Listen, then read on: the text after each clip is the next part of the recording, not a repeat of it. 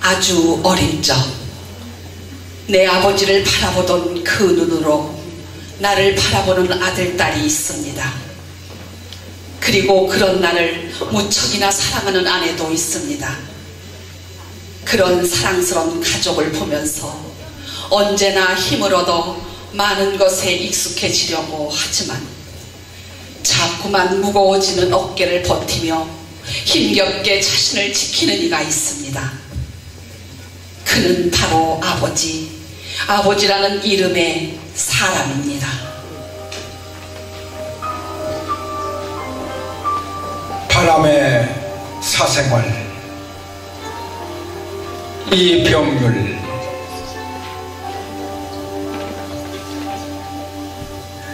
가을은 차고 물도 차다 둥글고 가혹한 밤 여기 저기를 떠돌던 내 그림자가 어기적 어기적 나뭇잎을 뜯어먹고 한숨을 내 쉬었던 순간.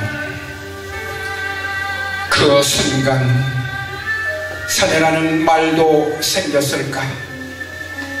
저 먼 옛날 오래전 오늘 사내라는 말이 솟구친 자리에 서럽고 끝이 무딘 고드름은 매달렸을까 처음엔 햇빛이 생겼으나 눈빛이 생겼을 것이고 가슴이 생겼으나 심정이 생겨났을 것이다. 한 사내가 두 사내가 되고 열 사내를 스물 백 천의 사내로 번지게 하고 불살랐던 바람의 습관들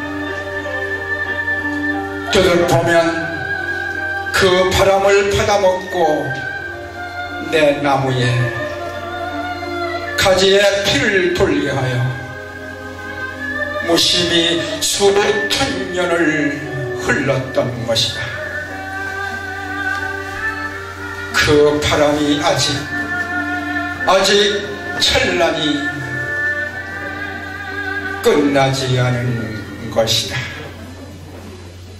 아, 오늘도 무척 힘이 들었는데 내가 사랑하는 나의 가족이 살아가, 살아가고 있는 내 집으로 빨리 가야겠다. 이 양반이 오늘은 왜 이렇게 늦는 거지? 무슨 바쁜 일이라도 생긴 걸까? 빨리 와서 함께 식사도 하면서 오늘 일어난 이야기도 해주면 좋을 텐데.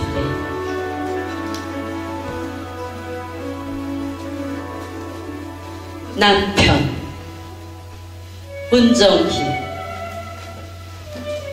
아버지도 아니고 오빠도 아닌 아버지와 오빠 사이의 촌수쯤 되는 남자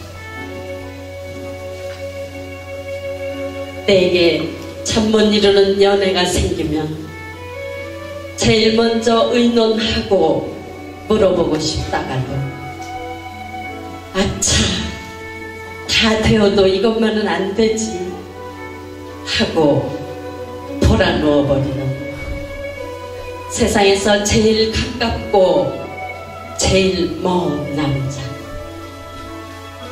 이 무슨 원수인가 싶을 때도 있지만 지구를 다 돌아다녀도 내가 낳은 새끼들을 제일로 사랑하는 남자는 이 남자일 것 같아. 다시금 오늘 또 저녁을 짓는다. 그러고 보니 밥을 나와 함께 가장 많이 먹는 남자. 전쟁을 가장 많이 가르쳐준 남자. 오늘은 이 양반이 제일 좋아하는 해물탕을 끓여놨는데 다 식겠네. 아들, 네, 엄마. 아버지께 전화 한번 넣어봐. 어디쯤 오시는지 말이야. 네, 오늘 많이 늦으시네요. 글쎄. 사냥 이건청 아버지의 등 뒤에 벼랑이 보인다. 아니, 아버지는 안 보이고 벼랑만 보인다. 요즘엔 소년이 보인다. 옛날 나는 아버지가 산인 줄 알았다. 차령 산맥이거나 낭림 산맥인 줄 알았다. 장대한 능선들 모두가 아버지인 줄 알았다. 그때 나는 생각했었다. 푸른 입길을 스쳐간 그 산의 물이 흐르고 흘러 바다에 닿는 것이라고.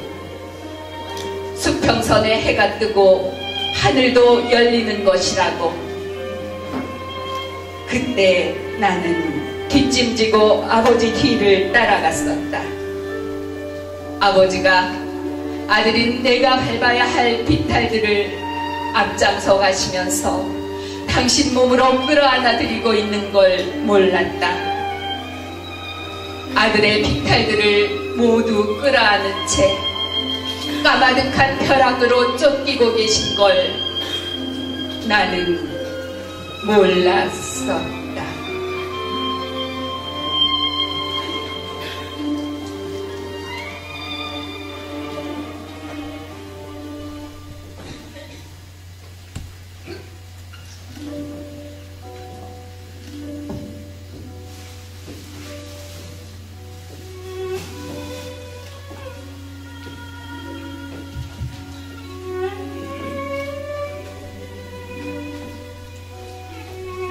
늘 우리를 위해 애쓰시는 우리 아버지. 감사하다는 말조차 전해드리지 못하고 지낸 것 같아 죄송한 생각이 드네요. 따뜻하게 손 한번 잡아드리지 못했으니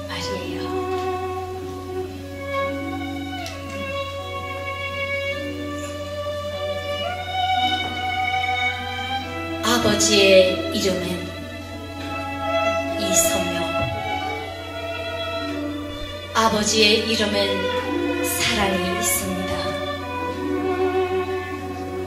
욕심밖에 부릴 줄 모르는 나를 그래도 변함없이 사랑하며 용서해 주십니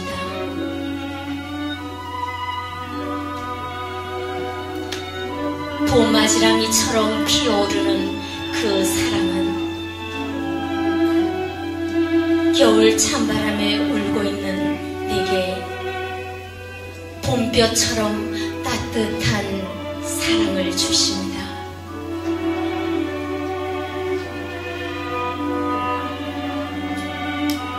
아버지의 이름엔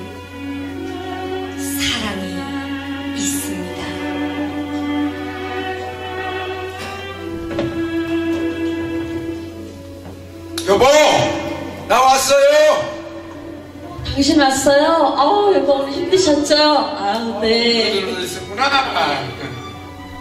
늘 자상하던 미소와 따뜻한 말로 우리 곁에 계시는 아버지.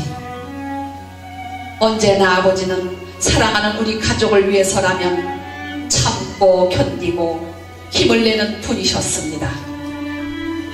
아버지가 계심으로 내가 있고 아버지는 우리의 영원한 고향입니다. 아버지는 언제나 우리의 튼튼한 기둥이고 힘이십니다. 아버지, 뒷산의 큰 바위같이 든든한 이름. 시골 마을에 느티나무같이 푸근한 이름. 우리 아버지 우리들의 아버지. 아버지, 사랑합니다.